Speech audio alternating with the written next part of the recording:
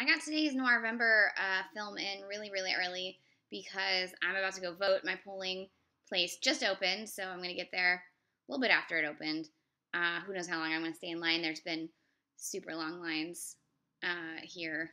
So where did my tab go? Oh my god. Uh, hold on. Da, da, da. Okay, so I watched like the perfect film to watch on election day. Uh, it's 1951's Storm Warning. It's directed by Stuart Heisler, and it stars Ginger Rogers, Doris Day, Steve Cochran, and Ronald Reagan. And it is like so. There's two things. One, it's timely because it's about the Klan and mob violence, and the fact that uh, the Klan is the most anti-American thing that can possibly exist. Because the entire point of the American justice system is that you are innocent until proven guilty, and that you have the right to a trial by a jury of your peers. That is now we got some flawed racial issues in our justice system and economic issues, but that is the that is the basis of it, right? And the Klan takes that whole American right away from the people that they harm because um, they're protecting the glory of the South or whatever. And it is bullshit. And that is what this film is sort of about. Um, the way it's dated is that it's 1951, and so it's not actually about the Klan lynching somebody. It's about the Klan killing a journalist who is investigating the Klan. So it's all white people, and everyone who's murdered is, is white, and just everyone involved is white, and that's it's kind of a bummer. Um, but you know the why the Klan exists, so you know that racial tension is is there in the background. Ginger Rogers is a traveling sales model. Uh, she she and Doris Day are both about ten years too old for the roles they're playing because Ginger Rogers was 40, Doris Day was 30. These characters clearly should be 30 and 20, but whatever, we'll just go with it.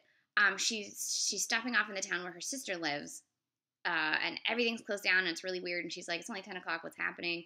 And it's because everyone has cleared out of town because the KKK is about to pull someone out of jail and kill them. And so she witnesses, and not only does she witness that it's the Klan, she also witnesses two of the Klan members who were dumb enough to take off their hoods. Um, she then finds her sister, Doris Day.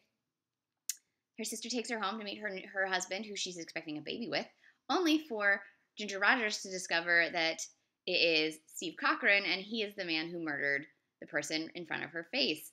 So she's like, ah! And Ronald Reagan is the DA trying to um, bring down the KKK, and no one will talk. And he finally gets Ginger Rogers to say that she saw the KKK. She won't say that it's her brother in law.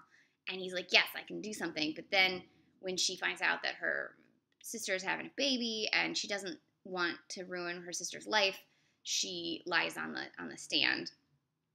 Obviously, more happens. Uh, I don't really want to spoil the rest of it. That's about halfway through the film. Uh, it has a not a happy ending. This is definitely a noir. It has a very unhappy ending, basically saying don't lie on the stand because bad things happen to people you love. Um, this film has has murder. This film has attempted rape. This film has people being shot. This film has probably pregnant women losing their child. This that's a spoiler. I'm sorry. This film has like everything you could want in a noir, basically, except like organized crime. But uh, you could kind of call the KKK organized crime, I guess organized vigilantism that's terrible and anti-American. Um, so this is this was a great film. I really enjoyed it. It was on Watch TCM. Unfortunately, today it expires. So whoops. Um, but it's also available from Warner Archive Collection, so you can you can get it on DVD. You can probably rent it on VOD. Also, a lot of those films are VOD available. Uh, it's from 1951. I thought it was really good. Uh, you know, it's it's limited by the fact that it couldn't actually be about racism because it's the 50s, but you know, it tried. And uh, I think I think everyone involved gave great performances. Um, this was before Doris Day was really huge too, so you could see super young, well, super young, relatively young Doris Day. Uh, Ginger is great. Everyone's great. Um, this is 1951 storm warning. This is the eighth day of November, and it is election day, and you better goddamn vote because that's that's American and that's that's a right that you have and you should exercise it and I'm going to go vote as soon as I upload this video.